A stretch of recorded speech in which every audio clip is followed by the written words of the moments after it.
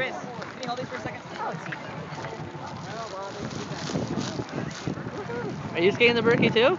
Yes. That'd be fantastic. Goodbye. Hey. Hey. Where are we, eh? Canada?